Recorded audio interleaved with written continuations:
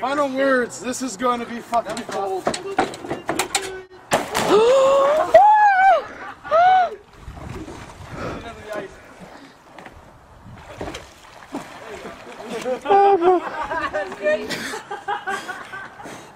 Fucking scary as hell.